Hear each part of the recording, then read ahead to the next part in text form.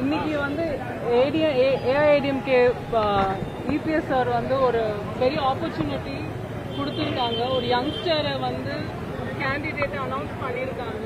அவங்க முப்பத்தி நாலு வயசு தான் ஆகுது நான் என் ஹஸ்பண்ட் அப்படின்றதோட என்ன என்ன மாதிரி ஒருத்தர் வந்து எலெக்ஷன்ல நிற்கிறாங்க அவங்களோட விஷன் அவங்களோட வாக்குறுதிகள் வந்து இன்னும் எல்லாத்துக்கும் போய் ரீச் ஆகணும். அதுக்காக தான் நான் இங்க வந்திருக்கேன். அவர் வந்து ரொம்ப பர்சனலா எடுத்த விஷயம் வந்து ட்ரக்ஸ் ட்ரக்ஸ் ஒழிக்கிறதும் எஜுகேஷன் ஈக்குவாலிட்டி எல்லாத்துக்குமே கல்வி எல்லாத்துக்கும் ஈக்குவலா போய் சேரணும்னு. அதோட எனக்கு வந்து ரொம்ப பர்சனலான ஒரு விஷயம் வந்து விமன் ஹைஜீன் எல்லாத்துக்குமே எல்லா விமன் ஸ்கூல் காலேஜில் போகிற எல்லா விமன்ஸ்க்கும் விமன் ஹைஜீன் இருக்கணும். அவங்களுக்கு வந்து சானிட்டரி பேட்ஸ் வந்து கவர்மெண்ட் சப்சிடி பண்ணி அவங்களுக்கு இலவசமாக கொடுக்கணும். ஏன்னா எத்தனை பேருக்கு அந்த மாதிரி ஒரு ஹெல்த் இஷ்யூஸ் வருது.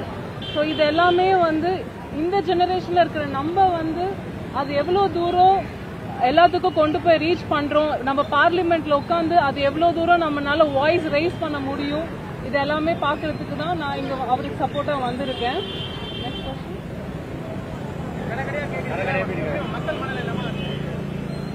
சார் மக்களுக்கு ரொம்ப நல்லாவே தெரியும்.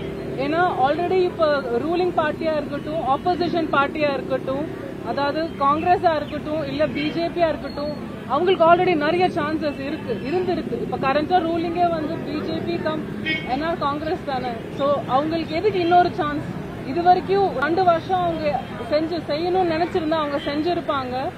ஆனா இன்னும் செய்யல. அதனாலதான் அவங்க இன்னும் வந்து நாங்க ஆட்சிக்கு வந்தா இது செய்வோம் இது செய்வோம்னு மட்டும் சொல்றாங்க தவிர ஆனா அவங்க இன்னைக்கு அங்கதான் இருக்காங்கன்ற ஒரு பொசிஷனை மறந்துடுறாங்க. வேற நம்ம ஏடிஎம்கே வந்து அம்மா வழியில இபிஎஸ் சாரா இருக்கட்டும் அன்பழகன் சாரா இருக்கட்டும் அவங்க ஒரு ஃபென்டாஸ்டிக் ஆப்பர்ச்சுனிட்டி கொடுத்துருக்காங்க என் ஹஸ்பண்டுக்கு வேர் நம்மளோட ஃப்ரெஷ் மைண்ட் இப்போ நீங்களே இத்தனை ரிப்போர்ட்டர்ஸ் இருக்கீங்க. எல்லாருமே ஒரு தேர்ட்டி ஃபைவ் ஃபார்ட்டி இயர்ஸ்குள்ளார தான் இருப்பீங்க. உங்களுக்குன்னு ஒரு இது இருக்கும். உங்களுக்கு இவ்வளோ ஹார்ட் ஒர்க் பண்ணியிருக்கீங்க. கவர்மெண்ட்னால என்ன கொடுத்துச்சு? வாட் ரிகக்னேஷன் உங்களுக்கு எல்லாம் கிடைச்சது. It will be very less இருக்காது. ஸோ இது எல்லாமே each and every sector we can நம்ம கான்சென்ட்ரேட் பண்ண முடியும். அண்ட் uh, இந்த ஆப்பர்ச்சுனிட்டி எங்களுக்கு கிடைச்சதுன்னா எவ்ரி நாங்க அந்த என்டையர் டென் இயர் சாரி அந்த என்டையர் டென் இயர் அந்த அஞ்சு வருஷம் வந்து we will definitely work in every segment sir